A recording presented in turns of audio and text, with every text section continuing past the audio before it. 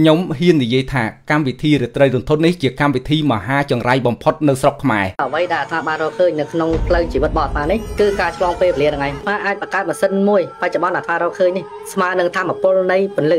ដំបូងខ្ញុំគិតថាមិនចង់ប៉ះពាល់ព្រោះជាអ្នកសិល្បៈដូចគ្នាលើសលួសខ្វះខាតគួរតែមានការកែតម្រូវឡើងវិញតែក្រុមនេះមិនដែលចេះកែតម្រូវឡើងវិញទេមានតែបំពេញបន្ថែមមុខគេហ្នឹងដូច ដូចហនុមាននៅក្នុងរឿងឥណ្ឌាអញ្ចឹងគេក៏ឆ្លើយថាលោកតាខ្ញុំកណាហ្នឹងទទួលបញ្ជាពីលោកតាធំឲ្យមកកាយដងគេលោកតាស្រួលប្រើប្រាស់ស្រាប់តែមានអ្នកដែលធំជាងគេកម្ពស់ប្រហែលជា1ម៉ែត្រ50ដែលអាត្មាលើកឡើងខាងដើមហ្នឹងគេយកដៃមកជាហៀងហ្នឹងទៅរុញរុញដើមឈើយើងដូចដូចអេលេកុបទ័រពងទៅអត់ដូចអេស្កាវទ័រពងទៅតែរុញអញ្ចឹងណារុញទៅក៏ដើមឈើហ្នឹងវារលឿងទាំងរឹសមករុញដៃរុញដល់ដៃមកខាងដែររុញដៃមកខាងហ្នឹងរុញឲ្យរលឿងទាំងរឹសគ្នាគេចាប់ដកកវត្តចេញទៅ នៅសល់ប្រហែលអ្នកទេគេ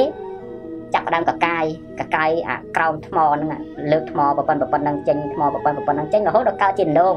កើតជាដងបានទឹកថ្លាល្អហើយចងាយពីអាត្មាទៅហ្នឹងវាមានជ្រោះ ត្រូវឆ្លងវាមានដៃអូដៃចលងត្រូវឆ្លងហ្នឹងគេរៀបស្ពានឲ្យទៀតគេលើកស្មោះលើកថ្មរៀបស្ពានឲ្យទៀតលយម៉េះទេវតាជីកដងឲ្យទៀតហើយដងហ្នឹងនៅណាជួយបង្ហាញគេផងកុំនិយាយទៅមាត់ថាអាចបង្កើតម៉ាស៊ីនមួយបច្ចុប្បន្នអាថារកឃើញនេះស្មើនឹងធម្មពលនៃពន្លឺ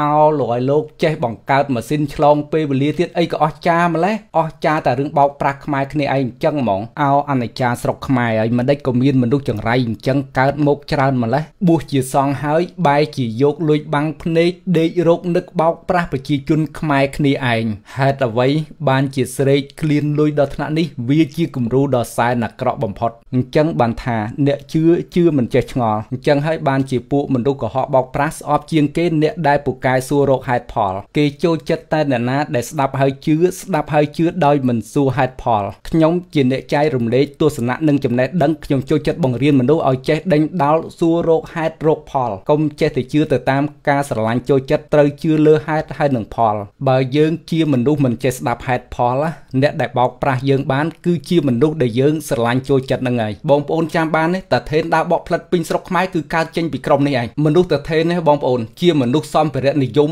ប៉ុន្តែគេសំដែងធ្វើជានៅខ្ទមស្លឹកពាក់ស្បង់ចាស់ចាស់មិនប្រើទូរស័ព្ទគេសំដែងឲ្យបងប្អូនឃើញថាគេជាមនុស្សមិនជាប់ជំពាក់ប៉ុន្តែគេប្រមូលលុយបើសិនជាតាថេនពិតជាមនុស្សពូកែស័ក្តិសិទ្ធិមែនម្លេះរឿងរ៉ាវអស្ចារ្យទាំងនោះនឹងល្បីចេញពីមាត់អ្នកស្រុកតែរឿងរ៉ាវដ៏អស្ចារ្យជាច្រើនរបស់តាថេនត្រូវបានប្រឌិតឡើងចេញពីមាត់មនុស្សនៅក្នុងក្រុមរាត្រីរន្ធត់នេះសឹងតែទាំងអស់តែលោកយាយលោកតានៅនេះចិត្តតែលោកប្រាប់ពួកយើងថាបញ្ជន120លោកម្ចាស់យន់សញ្ជាតិលោកធ្លាប់ជួបលោកម្ចាស់វិស័យហ្នឹងតាំងពីឆ្នាំ91មក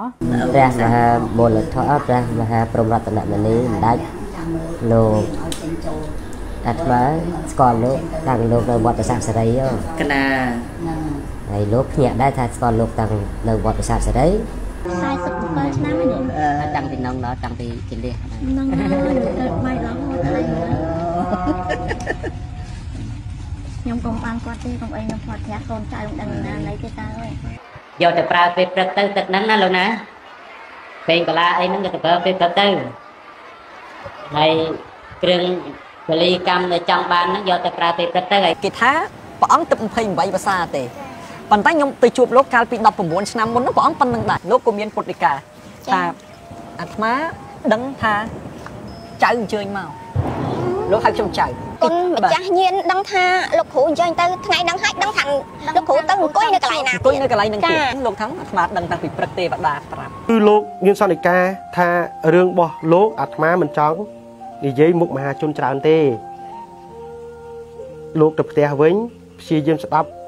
សម្ដីអាត្មាបើមិនយល់អាត្មាបញ្ជូនទេវតាមួយទៅបញ្យល់យប់នឹងយើងនិយាយគ្នាដឹងសខ្មៅម្ដងណាបាទបាទ5ថ្ងៃរយៈពេល5ថ្ងៃអាចដោះបំណុលបានដល់ទៅជាង30ម៉ឺនដុល្លារជាង30ម៉ឺនដុល្លារបាទទេមិនមែនជារឿងធម្មតាទេពុកម៉ែបងប្អូន5ថ្ងៃអាចដោះបំណុលបានដល់ទៅជាង30ម៉ឺនដុល្លារអភិនិហាក្រោយទៅជួបជាមួយនឹងព្រះអង្គច័ន្ទតមនីហើយហ្នឹងគឺជាអភិនិហាដែលខ្ញុំអាចដោះបំណុលដែលខ្ញុំនឹកស្មានមិនដល់ទេថា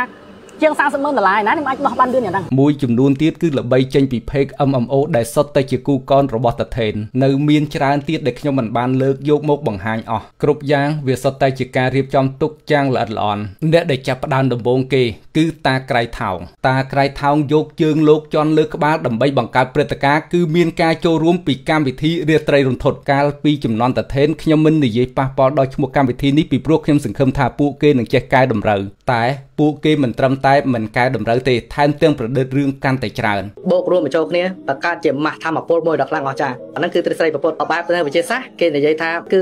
កម្លាំងដែលតំនាធម្មពលនៃក្លេអាពេលខ្លាំងហើយនឹងខ្សោយប៉ុណ្ណឹងបញ្ចូលគ្នា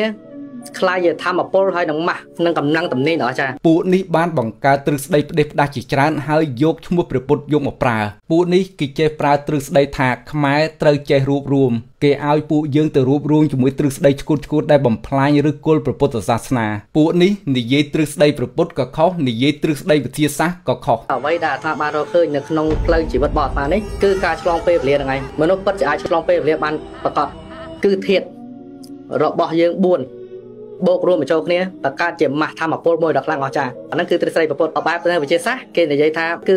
កម្លាំងដែលតំនាធម្មពលនៃក្លេអាពេលខ្លាំងហើយនឹងខ្សោយប៉ុណ្ណឹងបញ្ចូលគ្នាខ្លាយជាធម្មពលហើយនឹងម៉ាស់នឹងកម្លាំងតំណែងអស្ចារ្យសូមបងប្អូនទាំងអ្នករៀនទ្រឹស្ដីវិទ្យាសាស្ត្រទាំងអ្នករៀនទ្រឹស្ដីប្រពុតសូមចូលរួមចេញមកបកស្រាយទាំងអស់គ្នាកុំឲ្យពួកនេះបានដៃខ្លាំងពេកប្រទេសជាតិមួយអភិវឌ្ឍទៅបាន គឺត្រូវការបណ្ដុះធនធានមនុស្ស ក្រុមណាដែលចេញមកបំពុលធនធានមនុស្សយើងគួរតែរួមគ្នាទប់ស្កាត់សង្គមជាតិមួយនេះជារបស់យើងទាំងអស់គ្នាយើងគួរតែរួមគ្នាថែរក្សាសង្គមជាតិមួយដែលជាទីស្រឡាញ់របស់យើងហេតុអ្វីត្រូវបណ្ដោយឲ្យគេបំផ្លាញតាមចិត្តឯណាទៅបេះដូងអ្នកស្នេហាជាតិ